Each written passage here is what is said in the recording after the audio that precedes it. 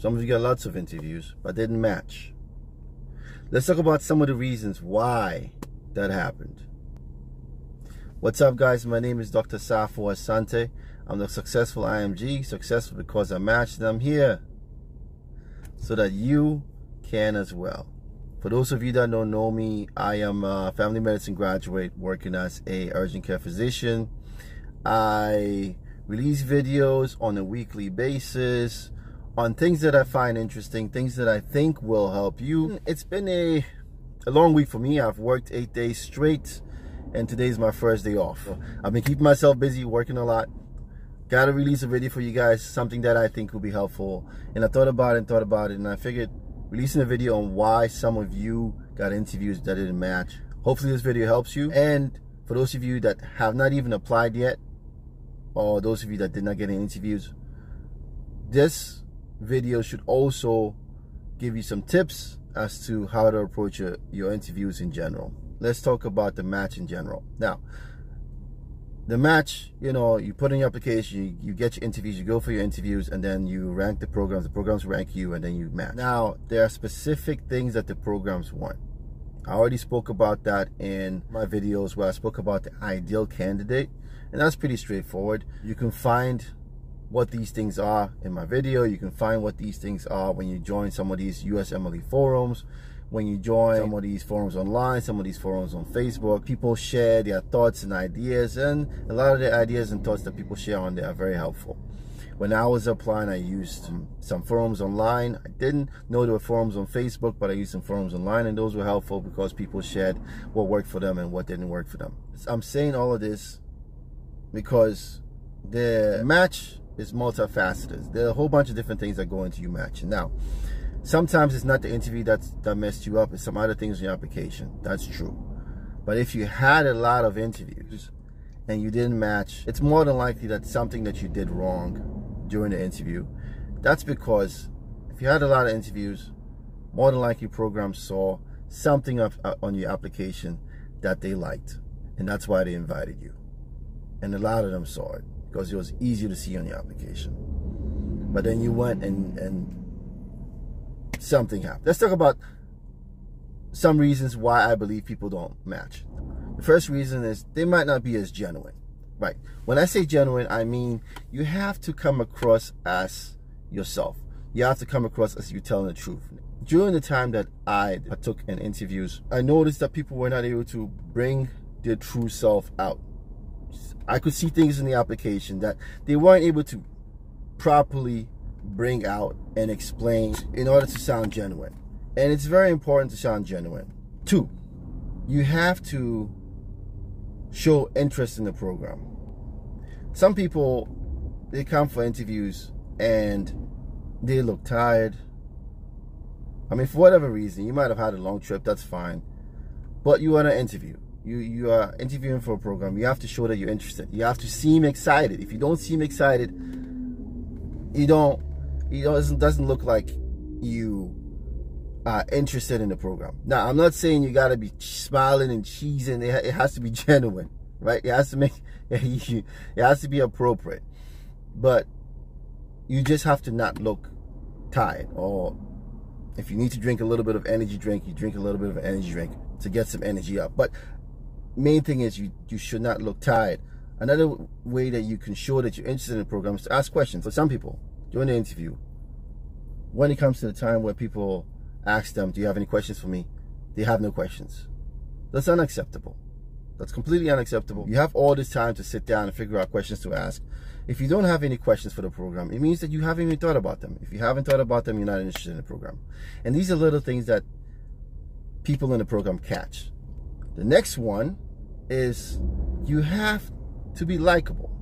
And likable ties in all those little things that I mentioned before, being genuine. If you come across as genuine as yourself, as you come across as like you're telling the truth, you're coming across as open.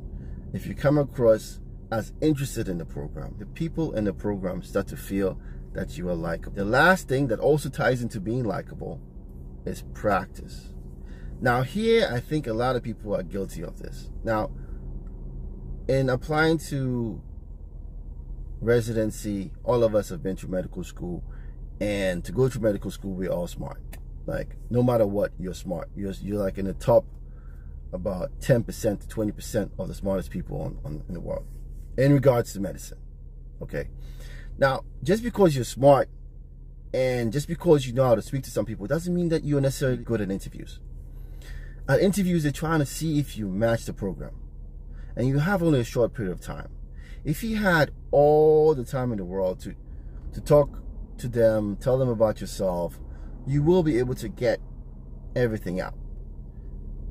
When you practice, you practice so that you can get your heavy hitting stuff out when a, within a short period of time that you are given.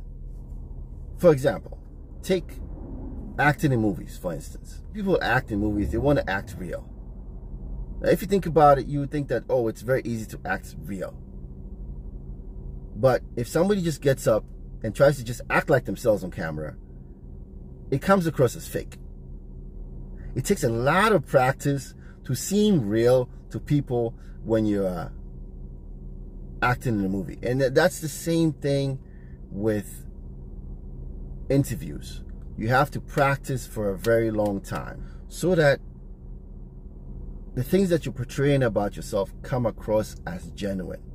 So that the things that you're portraying about yourself come across as true, even though they're true. And you're also practicing a lot so that you remember the important points that you're trying to get across. Now, if you practice one or two times right before the interview, and then you go and ask your question, you might have the answer. But because of the pressure that you're under, you might forget the things, the important things that you need to mention. And you might mention some things. And you might mention some things that could hurt you. And that's also another reason why you want to practice a lot. So that you can weed out the little things that you say just randomly innocently, of course, but you say randomly that can hurt you. So, for instance, we had an applicant, and I will never forget this. We had an applicant, everybody liked her, but she said that she didn't like New York, and that's where the program was. And the person she told that to was the program director. so, when we were going over all the people that interviewed with us and we were talking about them, and we were saying, oh, we like this one, we liked her because of this and this and this. The program director said she didn't like New York. Boom, instantly she was done. Practice is very important. Practice is very, very important. You have to make sure that you practice a lot so that all the things that I mentioned before, being genuine, being likable, showing interest, come across naturally. Like all these little things that I said, if you just take one, it's not good enough. You have to add all of these things together so that you can have a good interview, so that you come across as a great candidate. If you feel like you need extra help, if you feel like you need that extra push to become the person that programs want in their program, shoot me an email down below. My email address is down below. My Facebook is down below. My Instagram account is down below. You can shoot me messages any any of these ways.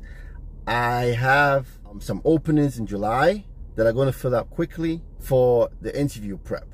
So those of you that are interested in, in making yourself better interviews, for those of you that are trying to make sure that you become the best candidate that you can be in the eyes of the programs, make sure you shoot me a message. If you feel like that's too much, you feel like you have you got all the little things yourself and you can handle it yourself, it's fine.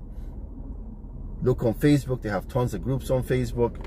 Look, just Google online, you have tons of groups online. Ask people, speak to people, communicate, and get as much information as possible.